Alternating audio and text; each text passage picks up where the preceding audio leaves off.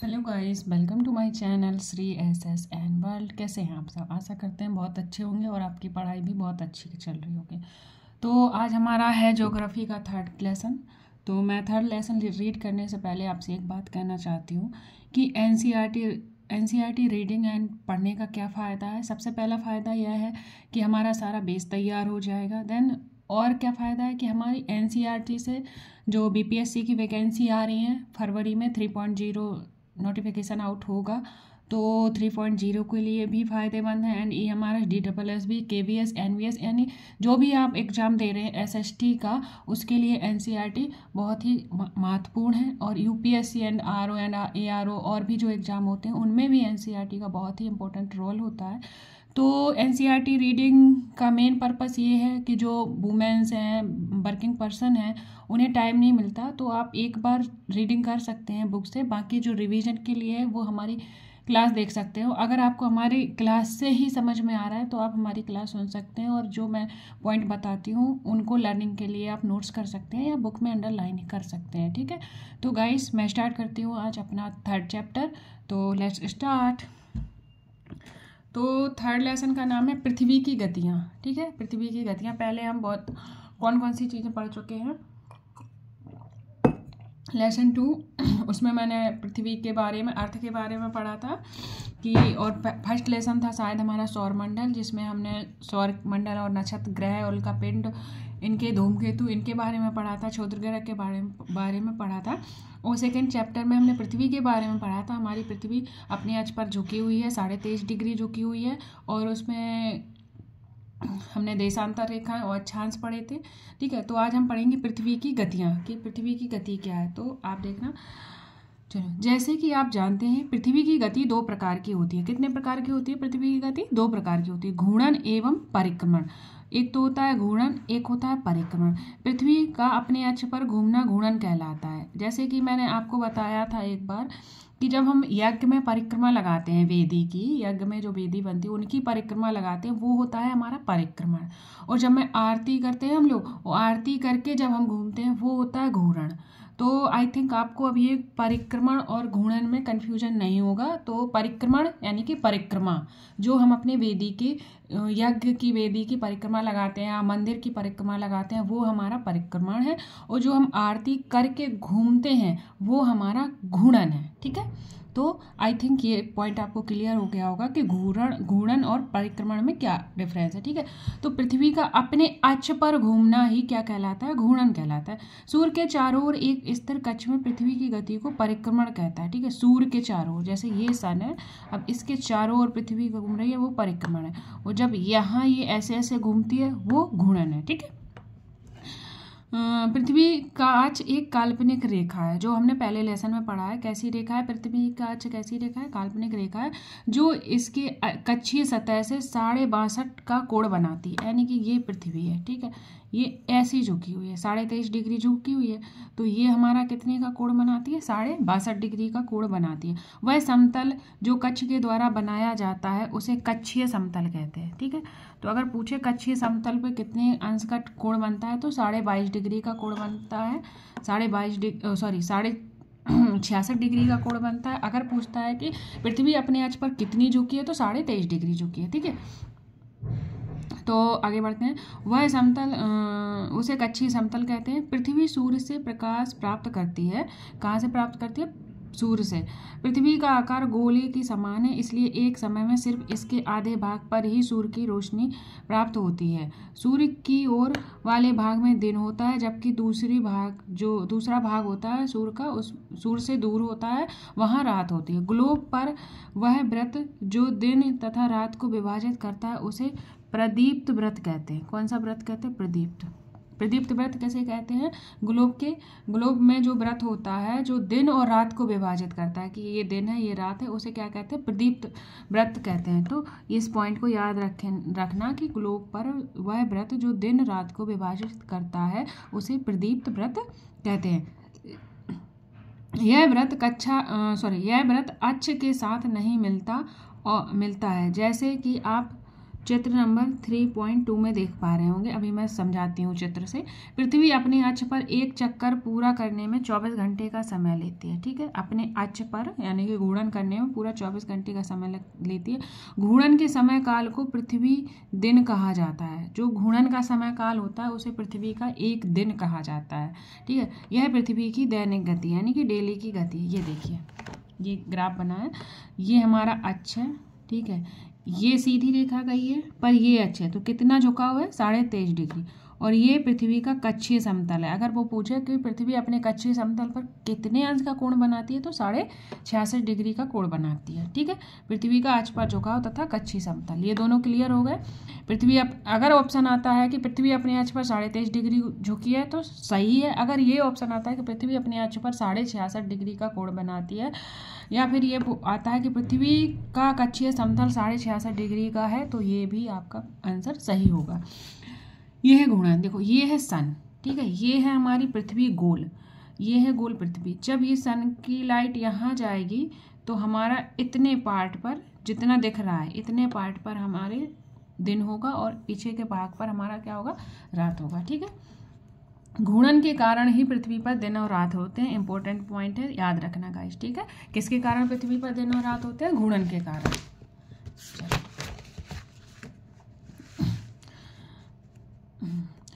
अगर पृथ्वी घूर्णन नहीं करे तो क्या होगा? सूर्य के तरफ़ वाले पृथ्वी के भाग में हमेशा दिन होगा, जिसके कारण उस भाग में गर्मी लगातार पड़ेगी और दूसरी भाग में हमेशा अंधेरा रहेगा एवं पूरे समय ठंड पड़ेगी। ठीक है, जब सन ही नहीं रहेगा तो ऑफिशियली सी बात है कि वहाँ पर क्या रहेगी? ठंड रहेगी।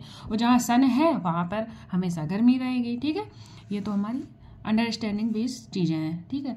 पृथ्वी की दूसरी गति, जो सूर्य के चारों ओर कक्ष में होती है, उसे परिक्रमण कहते हैं, ऐसे। ये तो सूर्य रहा और ये पृथ्वी घूम रही है, ये परिक्रमण है, जो मैंने अभी एग्ज़ाम्पल लेके आपको समझाया था। पृथ्वी एक वर्ष में तीन सौ पैंसठ और कितने? वन वन अपॉन फोर दिन में सूर्य का चक्कर लगाती है, ठीक है? हम लोग एक वर्ष में तीन सौ पैंसठ दिन का मानते हैं, एक वर्ष तीन सौ पैंसठ दिन का मानते हैं, तथा सुविधा के लिए छः घंटे को इसमें से नहीं जोड़ते हैं, ठीक है? तो कितने घंटे? छः घंटे नहीं जोड़ते, यानी कि तीन सौ पैंसठ और क्या? एक बटे चार दिन लगता है, एक साल में उसे परिक्रमा करने में, ठीक है? तो ये छः घंटे जब जुड़ जुड़ के चौबीस घंटे बन जाते हैं तो हर लीप ईयर, चार साल में, चार साल में लीप ईयर क्यों आता है? ये सोचा है कभी? तो इसलिए आता है कि सिक्स इंटू फोर छः चौको चौबीस, यानी कि फोर सिक्स या ट्वेंटी फोर तो ट्वेंटी फोर का एक दिन होता है तो चार साल में ये घंटे जुड़ जुड़ के एक दिन बनाते हैं, इसलिए हमारा लीप वर्ष हो जाता है, ठीक है?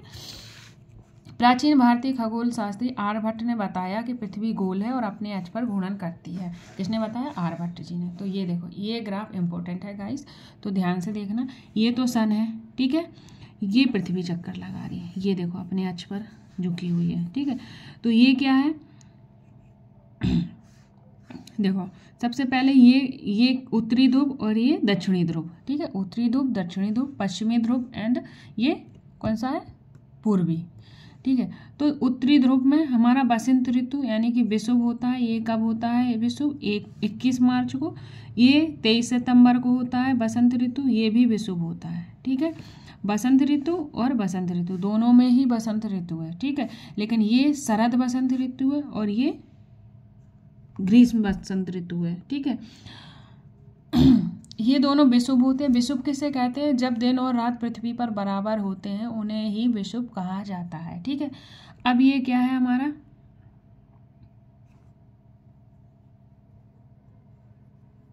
ठीक है। उत्तरी गोलार्ध में शीत ऋतु, दक्षिण आयतन बाईस बाईस दिसंबर को। ये कब होता है? बाईस दिसंबर को। और ये वाला इक्कीस जून को। ठीक है? उत्तरी गोलार्ध में ग्रीष्म ऋतु और दक्षिण गोलार्ध में शीत ऋतु 21 जून को होती है और उत्तरी गोलार्ध में शीत ऋतु ऋतु और दक्षिणी गोलार्ध में ग्रीष्म ऋतु 22 दिसंबर को होती है। ये पॉइंट ध्यान रखेंगे, ठीक है?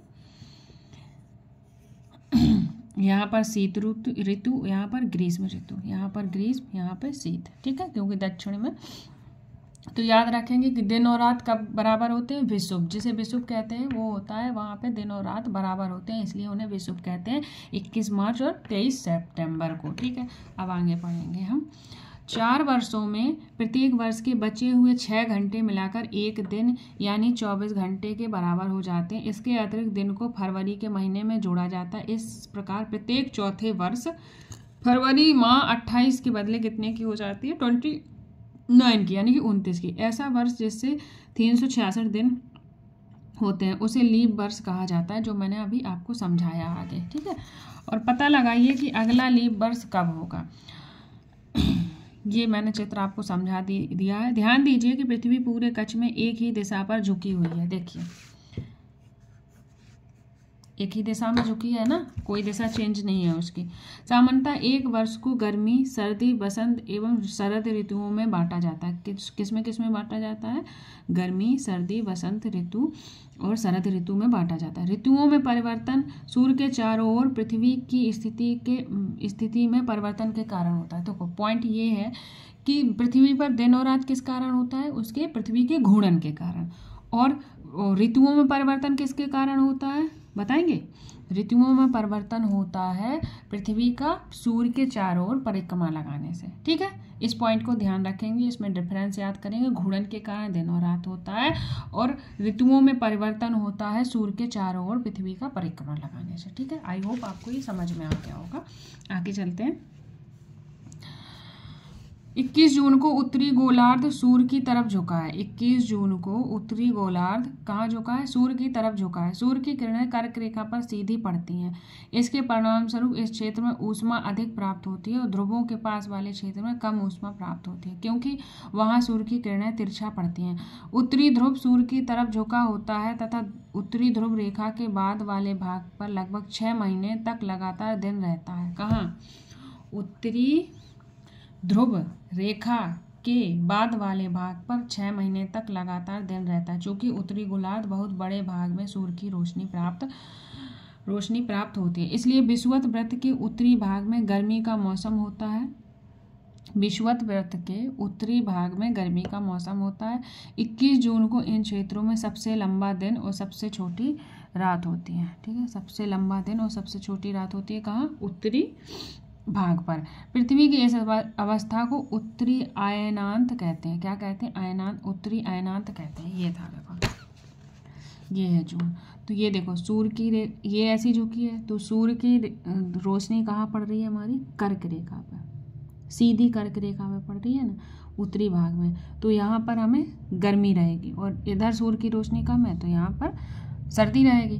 और जब जहाँ सूर्य की रोशनी सीधी पड़ रही है, ज़्यादा पड़ रही है तो दिन भी बड़ा होगा। तो 21 जून को उत्तरी गोलार्ध का दिन बड़ा होता है, रातें छोटी होती हैं। और दक्षिणी गोलार्ध में क्या होगा?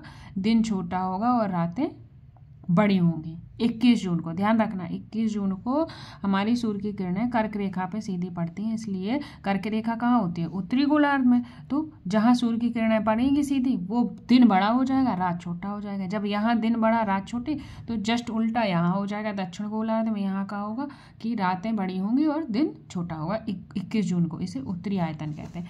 सेम ऐसा यहाँ पे। यहाँ की किरणें सीधी हमारी कहाँ पर ज़्यादा पड़ रही है? मकर रेखा पे। मकर रेखा कहाँ है? विश्व दक्षिणी गोलार्ध में। तो 22 दिसंबर को क्या होगा? दक्षिणी गोलार्ध का सबसे बड़ा सबसे बड़ा दिन होगा और सबसे छोटी रातें होंगी। और उत्तरी गोलार्ध में क्या होगा? सबसे छोटा दिन होगा और सबसे बड़ी रातें होंगी। ठीक है? ये है दोनों पॉइंट बाईस दिसंबर को दक्षिणी ध्रुव के सूर्य की ओर झुके होने के कारण मकर रेखा पर सूर्य की किरणें सीधी पड़ती हैं। अभी मैंने बताया कहाँ पड़ती हैं? मकर रेखा रेखा पर। आप सीधे से वो ग्राफ बना लेना और एक बार समझ लेना। आपको पॉइंट्स लिखने की ज़रूरत नहीं है। उस ग्राफ से आपको याद आ जाएगा, ठीक है? किरणें सीधी पड़ती चूँकि सूर्य की किरणें मकर रेखा पर लंबवत पड़ती हैं, इसीलिए दक्षिणी गोलार्ध में बहुत बड़े भाग में प्रकाश होता है। इसलिए दक्षिणी गोलार्ध में कैसे?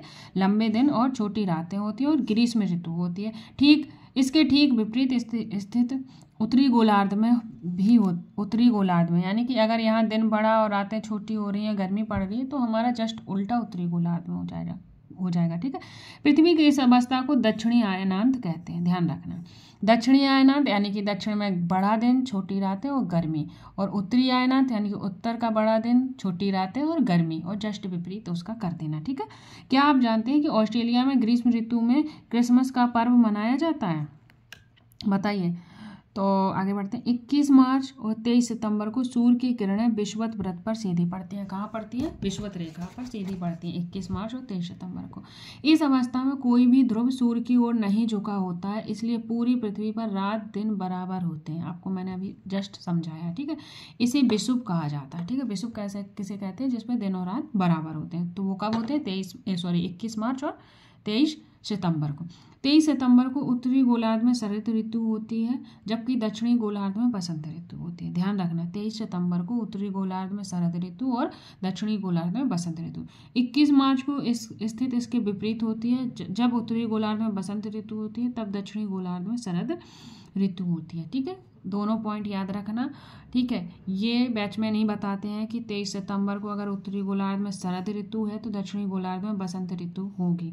अगर 21 मार्च की स्थिति में इसके विपरीत होती है, यानी कि उत्तरी गोलार्ध में बसंत आ जाएगा और दक्षिणी में शरद ऋतु आ जाएगा। अगर एक आपको क्लियर है तो दूसरा अपने आप क्लियर हो जाएगा। ठीक है, इस प्रकार स्पष्ट है कि पृथ्वी के घूर्णन एवं परिक्रमण के कारण दिन, रात तथा ऋतुओं में परिवर्तन होता है। अगर दोनों एक साथ लिखे हैं देखो घूर्णन एवं परिक्रमण के कारण दिन, रात और ऋतुओं का परिवर्तन, यानी कि घूर्णन के कारण दिन, रात का परिवर्तन और परिक्रमण के कारण ऋतुओं का परिवर्तन, ठीक है? नेक्स्ट पाते हैं। ठीक है। सो so गाइस हमारा लेसन यहीं पर होता है फिनिश ये हमारे क्वेश्चन इनको आप ध्यान रखना। एंड देन ये क्या है? ये खेल दिया गया है। ये बच्चों की एक्टिविटी है। वो जब आप टीचर बन जाओगे, तब उनको एक्टिविटी कराना।